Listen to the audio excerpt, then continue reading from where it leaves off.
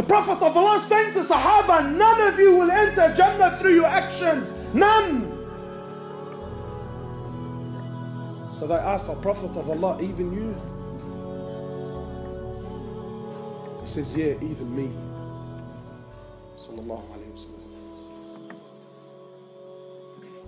The greatest mujahid was Muhammad sallallahu alayhi wasallam. The greatest teacher was Muhammad sallallahu alayhi wasallam. The greatest father was Muhammad sallallahu alayhi wasallam. The greatest husband was Muhammad sallallahu alayhi wasallam. The greatest mercy to humanity was Muhammad sallallahu alayhi wasallam. The greatest abid to ever worship Allah Azza wa Jal was Muhammad sallallahu alayhi wasallam. The greatest messenger to ever walk the earth was Muhammad sallallahu alayhi wasallam. The greatest prophet to ever receive revelation was Muhammad sallallahu alayhi wasallam. The greatest creation that Allah ever created was Muhammad sallallahu alayhi wasallam. And he says, even me. Except and only if Allah Azza wa Jal was to show mercy upon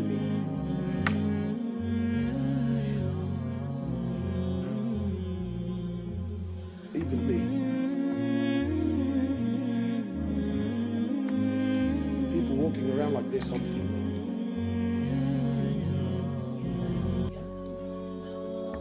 Prophet of Allah tells us of a man who worshipped Allah for 500 years. 500 years he worshipped Allah. And then when he stood before Allah, Allah subhanahu wa ta'ala, more or less, he tells the angels, take him and enter him into the paradise through my mercy. So the man says, whoa, whoa, whoa, whoa. Oh Allah. And more or less he says, Oh Allah, well I appreciate the offer. I couldn't help but hear that you said you want me to enter through your mercy. Oh Allah, I don't want to enter through your mercy. I want to enter through my actions, oh Allah. Oh Allah, I worship you for 500 years.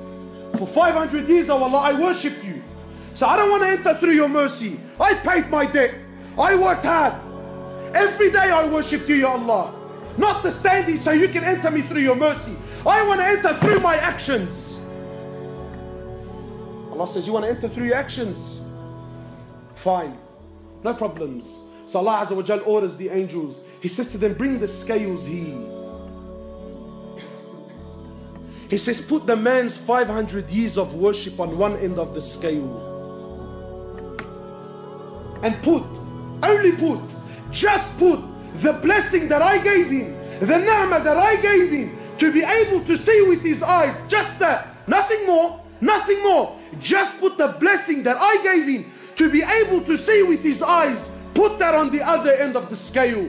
Just the blessing to be able to see outweighed 500 years of worship. So Allah says to the angels, take him and throw him into the hellfire.